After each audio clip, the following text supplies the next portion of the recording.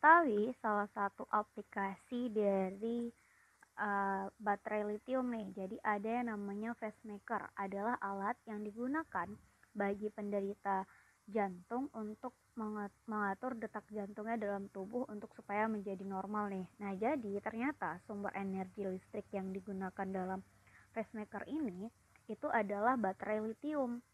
Nah, jadi penggunaan pacemaker ini tuh harus rutin melakukan uh, pemeriksaan jantung dan mengganti baterainya secara kontinu artinya secara bergantian uh, gitu kan. Karena apa? Karena alat tersebut dapat menimbulkan gangguan akibat adanya arus listrik yang tidak stabil. Nah pertanyaannya adalah tentukan atau kira-kira carilah uh, aplikasi baterai lainnya dalam teknologi kesehatan. Nah jadi teman-teman bicara tentang baterai lithium baterai lithium itu adalah salah satu aplikasi dari sel volta maupun sel elektrolisis atau yang kita kenal dengan elektrokimia.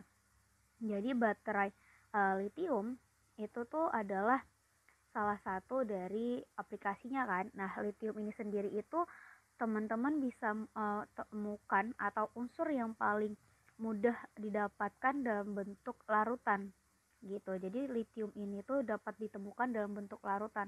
Nah, karena itulah makanya yang menjadi uh, dasar dalam perkembangan baterai lithium nih karena dia itu dapat diisi ulang. Pada umumnya kita tahu kalau baterai lithium ini itu adalah salah satu aplikasi pada uh, sel uh, dalam kehidupan sehari-hari misalnya itu adalah handphone selulernya kita gitu kan. Handphone baterai itu tuh salah satu dari aplikasi si baterai lithium ini. Nah, gimana nih kalau dalam teknologi kesehatan ada nggak selain sebagai pacemaker si baterai lithium ini digunakan? Tentu ada ya, salah satunya itu adalah perangkat yang kita kenal dengan perangkat medis. Jadi ada yang namanya itu perangkat medis seperti implan. Gitu. Nah, jadi perangkat medis implan ini dan ada yang kita kenal juga dengan yang namanya itu uh, stimulator. Itu tuh terbuat uh, stimulator saraf gitu, biar nggak sepotong-sepotong.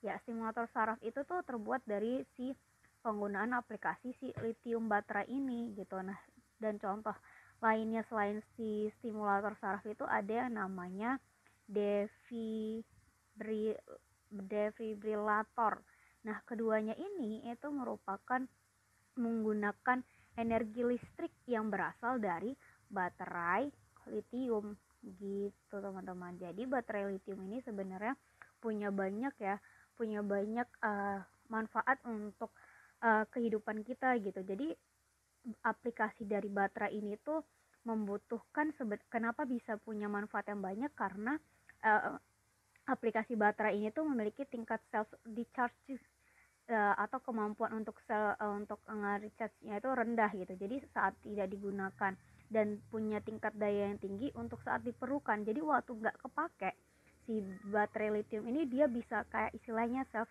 recharge gitulah jadi dia bisa menyimpan energinya sendiri sementara ketika digunakan pun tingkat daya dayanya itu bakalan tinggi saat diperlukan jadi terutama dalam kasus si ini nih defibrillator dan stimulator saraf ini gitu jadi selain penggunaan produk akan selain pengguna produk akan menginginkan baterai dapat melakukan banyak siklus gitu kan sehingga perangkat ini tuh tidak perlu diganti dalam servis yang terlalu sering. Kalau ini tuh tadi kan dia perlu sering kontinu kan untuk melakukan penggantian baterai tapi kalau untuk si implan uh, uh, medis implan ini tuh dia nggak nggak perlu selalu sering gitu.